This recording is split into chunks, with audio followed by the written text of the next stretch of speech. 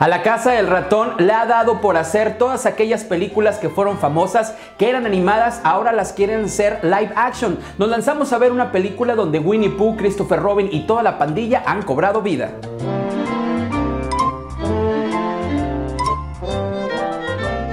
Y no, no es precisamente esta película que llevaba por título Hasta pronto Christopher Robin. ¿Recuerdan este título? ¿Quién diría que unos meses después nos íbamos a volver a topar con estos personajes que han sido entrañables por muchos, muchos años porque La Casa del Ratón volvió muy famoso a esta historia que fue escrita por A.A. Mile? ¿Recuerdas a Christopher Robin y todos sus amigos que vivían interminables aventuras en los bosques de las 100 acres? Y en la película anterior pues ya conocimos todas las situaciones que orillaron al papá a escribir esta bella historia para su hijo. En esta ocasión, la casa del ratón lo que quiso hacer es qué pasaría cuando Christopher Robin creciera. ¿Recuerdas la película de Hook? Algo así, nos están platicando. Peter Pan creció y ahora Christopher Robin ha crecido, olvidado a todos estos pequeños amigos y ahora tiene una familia. Estos personajes son interpretados por el actor Ewan McGregor, el cual ya tiene experiencia contándonos historias de drama. Recordarás cuando estuvo trabajando al lado de Tim Burton en la película del Gran Pez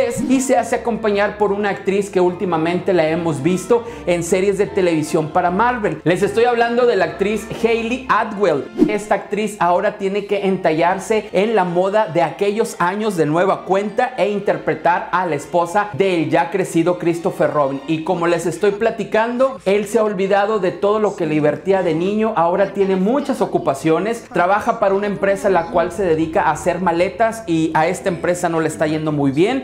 Es así que están a punto del quiebre. Christopher Robin va a ser el encargado de rescatar esta empresa, pero tiene de dos. O se va con su familia de fin de semana a su casa donde él creció, o se queda esos días trabajando para una junta importantísima que tendrá el siguiente lunes para saber el rumbo de la empresa. Por supuesto que Winnie Pooh, Piglet, Tiger, Rito, Mamá Canguro y toda esta pandilla que hemos conocido a lo largo de muchos años van a aparecer para que Christopher Robin tome las mejores decisiones. Les queremos ser sinceros, esperábamos algo así como descubriendo el país de nunca jamás o incluso hasta Mary Poppins. Papás, es importante que lleven a sus niños para que conozcan los personajes con los cuales crecieron. Sabemos que siguen vigentes en cuentos, en películas y también en caricaturas para este canal de Disney. Así es que los niños también se van a sentir identificados, pero creo que esta historia lleva un gran mensaje para que todos los papás, quienes han olvidado la importancia de volver a ser niños y divertirse en esta vida, por ahí lo recuerden. Esta es la primera historia de muchas otras tantas más que nos va a traer Disney, así es que hay que prepararnos. Realmente no podemos dejar pasar por alto todas las reacciones que tiene la gente cuando estamos en la sala. Los sonidos de ternura durante toda la historia se hicieron presentes cada vez que ven interactuar a Christopher Robin con sus viejos amigos. Nosotros le queremos dar una calificación de 4 estrellas y les contamos nuestra experiencia. La película que nos tocó ver estaba subtitulada y esto nos agradó mucho. Esta cinta va totalmente clasificación A para toda la familia. Sabemos que de 10 películas que van a llegar, 9 van a ser dobladas. Para hablarles acerca de algo bueno y algo malo que tiene la película. Algo bueno, pues el hecho de ver esta historia un poco diferente. Y si ustedes estaban preguntando qué hubiera pasado con ese niño cuando creciera, aquí vamos a ver una de esas tantas versiones que pudo haber sucedido con el personaje de Christopher Robin. Lo malo es que hace poco se estrenó una película, como ya les comenté, hasta pronto Christopher Robin, y se nos hace muy cercana la historia.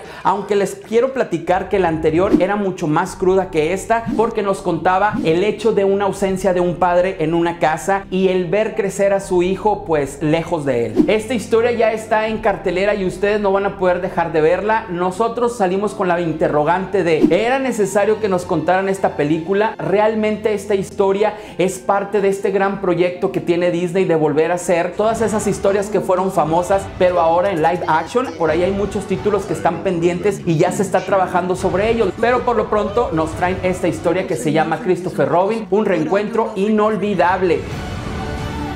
No, Pooh, that's not. Oh, never mind. Si quieres estar enterado acerca de todas las historias que ya están en producción, recuerden arroba solo en cines MX, así nos van a poder encontrar. Mi nombre es Jacinto Vázquez y esta fue una producción de Arturo Faz. Nosotros, por supuesto, que nos vemos en el cine.